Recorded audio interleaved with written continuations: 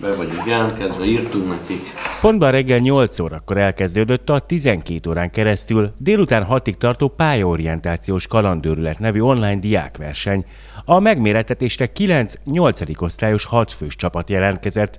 Nevezés nem csak Tolna megyéből, hanem Baranyából, Vásáros domborról is érkezett. Az előkészületek azok nagyon jól mentek, jól, jól volt az összhangot is, nagyon sokat nevettünk. A diákcsapatoknak a nevezéshez egy videót kellett készíteniük, a nap során pedig online kapták meg a feladataikat, amiknek a megoldásait az interneten keresztül is kellett visszaküldeniük. Nem bántam meg, hogy jöttem. Jó a közösség, jó, jó szórakozunk, a feladatok is mennek nagyon jól, úgyhogy kompetencia elvárás, tessék, kézügyesség, önállóság, felelősségtudat. A pályaorientációs kalandőrület célja a szakképzés népszerűsítése volt.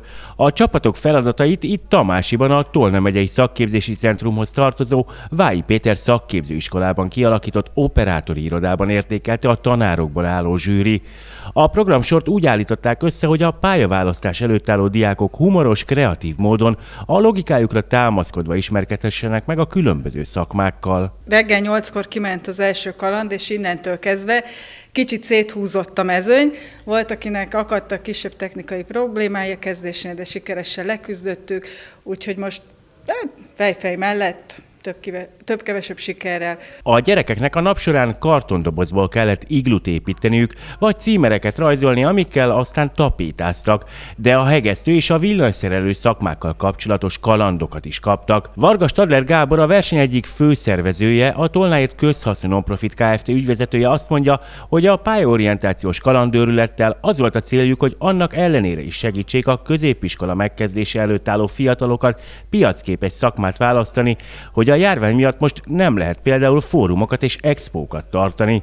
A Tolnáért közhasznú nonprofit Kft. ugyanis mások mellett ezt vállalta a Tolna megyei foglalkoztatási paktumban. Próbálunk segíteni, nem csak most, hanem visszamenőleg, amikor is pályaválasztási rendezvényeinkkel, a konzorciumi partnereinkkel együtt próbáljuk abba az irányba segíteni és támogatni a 14 éves 8. osztályosoknak a pályaválasztását, hogy forduljanak a szakképzés felé. Fehérvári Tamás, a Tolna megyei közgyűlés elnöke azt mondja, az elmúlt években folyamatosan nőtt a foglalkoztatottak száma az országnak ezen a részén.